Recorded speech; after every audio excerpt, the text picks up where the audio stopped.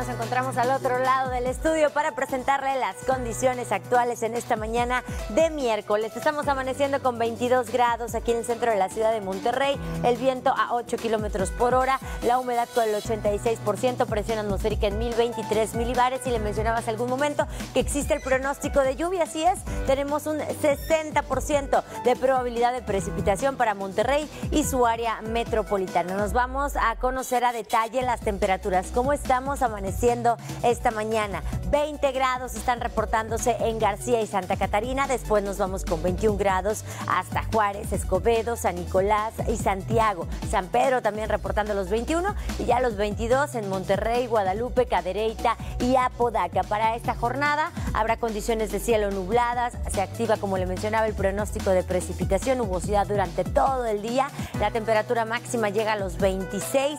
Sí disminuye, pero ligeramente el termómetro, ya que el día de ayer alcanzamos los 30, hoy llegamos a 26 y por la noche el valor descenderá a los 23 grados. Los próximos cuatro días, que es lo que nos espera, todavía jueves y viernes, seguimos con probabilidad de lluvia entre un 20 y un 40% el pronóstico de precipitación. Vemos las temperaturas siguen entre los 26 y 25 grados como máximas, mínimas que no se mueven lo suficiente, entre 18 y 19. Para sábado y domingo comienza ya a despejarse el cielo, sale el sol y rápidamente sube la temperatura, con valores máximos de 29 y hasta 30 grados Celsius. Esto ya lo sabe por la tarde. Nos vamos a conocer las condiciones a detalle, qué es lo que nos espera para los próximos días en cuanto a la imagen de radar. Podemos ver justamente la llegada del Frente Frío número 12 abarcando los estados del noreste del territorio mexicano. Este Frente Frío es justamente el que trae estos cambios en temperatura, muy ligeros los cambios en temperatura y en condición de cielo, activando el pronóstico de lluvia. Tenemos también otra situación, este canal de baja presión que mantiene también las lluvias, lluvias fuertes para Campeche, Yucatán y Quintana Roo. Y es que a su vez este canal de baja presión se encuentra interactuando todavía con esta tormenta tropical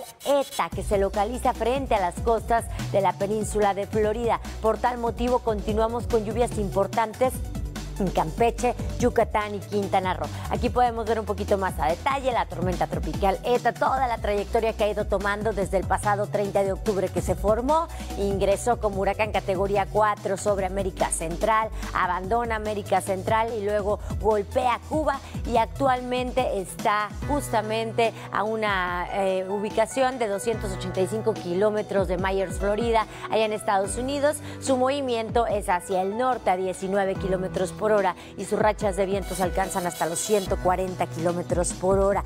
Sí va a golpear territorio estadounidense. Aquí podemos ver justamente la curvatura que hace. Llega y golpea la península de Florida, el noroeste de la península de Florida, pero y llegará como tormenta tropical y muy probablemente ya el día de mañana. Vamos a conocer el total de luz solar, 10 horas con 56 minutos para esta jornada y la próxima fase lunar cambia el sábado 14 de noviembre a luna nueva. Hasta aquí con la información del pronóstico del tiempo, volveré más adelante. Muy buenos días. Pinta con Verel para